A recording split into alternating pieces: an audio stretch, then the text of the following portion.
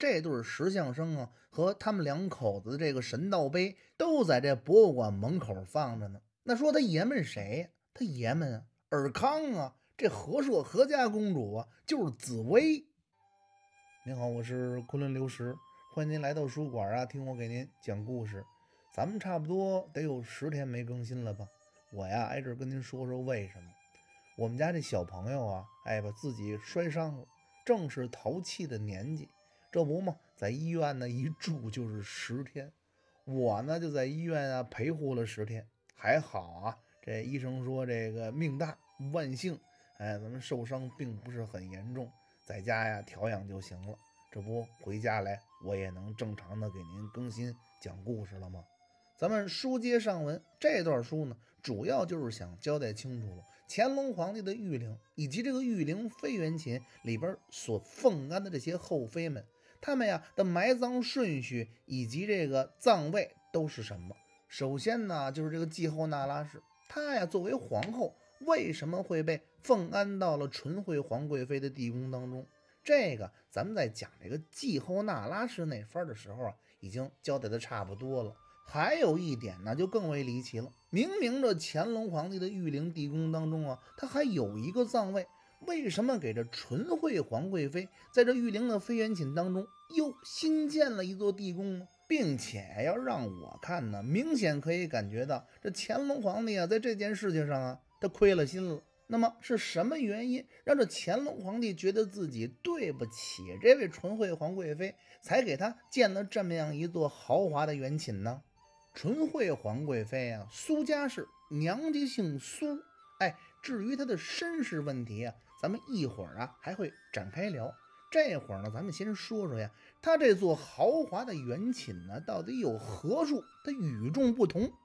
乾隆皇帝的御陵妃园寝，它位于这个御陵的西侧，哎，坐北朝南，东西两侧呀还有这个沙山环绕，地势平坦。您要是光从外表上看呢，和其他的妃园寝还真没有什么区别。关键是啊，您得进去，您进了这门里一看呢，那可就不一样了。这座飞檐寝呢，建于乾隆十二年，是一座高标准、高规格的飞檐寝。首先说啊，它有马槽沟、一孔的拱桥，还有东西厢房和东西直房。不但有享殿啊。而且中间大宝顶、方城明楼是样样齐全。这中间的方城明楼是给谁建的呀？就是给这位纯惠皇贵妃建的，跟后边那些妃子坟啊没关系。接下来呀，咱就得聊聊这纯惠皇贵妃的身世了。这娘娘啊，娘家姓苏，正经八百的汉人，苏州人。哎，她可不是旗人。有人说呀，这个你算呀是自个儿骂了自个儿了。前一阵子呀，咱们讲这个八旗制度的时候，你不是总说吗？这皇上的媳妇儿啊都是旗人，它里边啊不分汉人、蒙古人，即便是汉人、蒙古人，哎，他们呀也都在旗，属于是这个八旗汉军和八旗蒙古。那怎么到了苏娘娘这儿，哎，她就是汉人，她不是旗人了呢？哎，要说呀，您这话说的他没错。您看啊，这皇上是谁呀？八旗都是他们家的。他要是但凡看上哪个民人女子啊，先弄进宫里来，然后呢，再把这个民人他抬齐了之后，他不就是旗人了吗？所以说呀，这皇上的女人啊，她都是旗人，即便是有的不是旗人的，最后成了皇上女人以后啊，也会把你变成旗人的，抬级吗？要说这苏轼啊，能到这乾隆皇帝身边，哎，这里边啊还有点意思，咱们呀还能聊几句。按理说啊，这八旗一里，民人和旗人啊是不能通婚的。这里边呢，当然就包括呀，上至王公贵胄，下到贩夫走卒。哎，你这皇上啊，你也是旗人，你必然也得遵守这条法律。那惹定的嘛呀？因为呀，这条法律是老祖皇太极留下的。可说起来呢，那古今一理呀，很多法律法规呀，它都是给大尾巴老百姓定的。这特权阶级他可不惯这毛病。所以说呀，您琢磨去吧。这苏轼啊，怎么着也不应该成为这乾隆皇帝的妃子。为什么呢？因为这苏轼的爸爸苏兆南呢，他既不是朝廷的官员，也不是旗下属人，哎，对他也不是汉军旗。可说呢，你这苏州南的姑娘啊，长得要是又狗狗又丢丢，那这皇上啊要把你纳进宫里当个妃子，也还说得过去。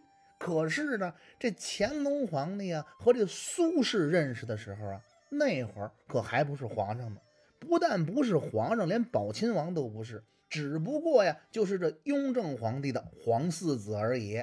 咱们呀还得提起那句老话：雍正五年那年呢，按公历说呀，应该是一七二七年。那年呀，这皇四子弘历呀大婚。在这之前呢，在他的府里呀，哎，说是府里前底呀，他也是在皇宫当中给这皇四子弘历侍寝的格格呀，已然有八九位了。我们推测呀，其中就有这位苏轼。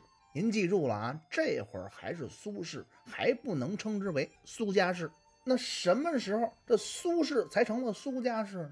乾隆四年，一七三九年的时候，这会儿啊，这纯惠皇贵妃的位分啊，已经升到了妃位了，已然是纯妃了。这纯妃娘娘的哥哥苏明凤和苏家凤，还有啊，他的侄孙叫苏松龄。被抬入了整白旗。关于这个苏家抬旗这件事情啊，当年啊一直困扰着我。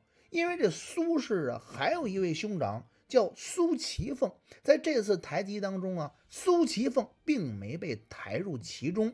这件事情啊，困扰了我很久。后来呀，有一位高人一句话就把我点醒了。他说呀，可能啊，在抬旗那会儿的苏琪凤已然过世了，那还抬个屁呀！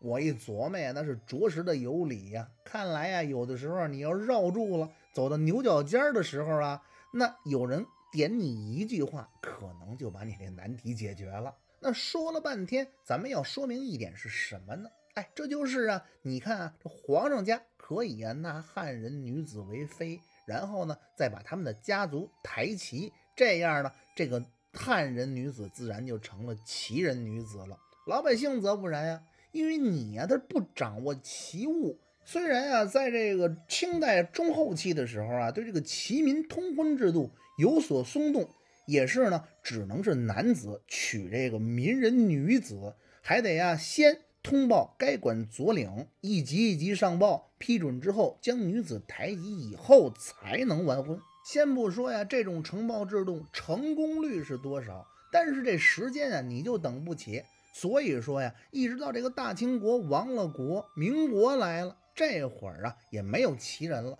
这满汉啊自然就可以通婚了。所以说呀，一直到了乾隆四年，这会儿的苏氏啊就可以称之为苏家氏了，抬了级成了旗人了吗？实际上啊，在乾隆二年的时候，乾隆二年那年是啊一七三七年五月十一日的时候。这个苏轼啊，已然在后宫的位分被晋封到了纯妃了。那么，一个无有根基、大尾巴老百姓苏兆南的女儿，为什么能这么快的晋封到妃位呢？哎，原因只有一个，人家这苏家氏娘娘啊，她能生。话说呀，还是雍正年的时候，在雍正十三年的五月二十五日。这格格苏轼啊，就给这宝亲王生下了第三子永璋。所以说这苏轼啊，一就仗着呀是前底救人，这乾隆皇帝对前底救人是非常好的。这二一来呢，又给这宝亲王弘历早早的诞下了子嗣，和前底来的其他的格格待遇自然就不同。这乾隆皇帝刚一登基，苏轼直接被晋封为了嫔位。接下来呀，更是捷报频传。乾隆八年十二月十四日，又给这乾隆皇帝生下了第六子，也就是后来的庄亲王永荣。在乾隆初期呀，这乾隆皇帝的子嗣并不旺，这纯妃呢，又给乾隆皇帝生下了一名皇子啊。所以说，这乾隆皇帝的心里呢，是自然是痛快的。于是啊，把这纯妃又晋封为了纯贵妃。说起来啊，那真是喜上加喜。就在当年的十二月份，这纯贵妃呀，她又生了。这回生的是个姑娘，皇四女和硕何家公主。这和硕何家公主的专辑啊，咱们做过。哎，因为我偶然啊发现了一对啊，这石像生就是这和硕何家公主坟上的。